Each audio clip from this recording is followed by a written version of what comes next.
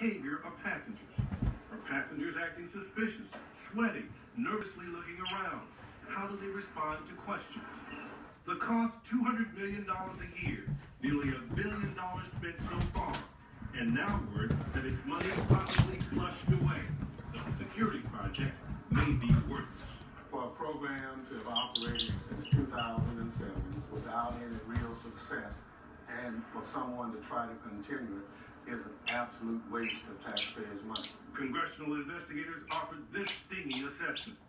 400 studies from the past 60 years found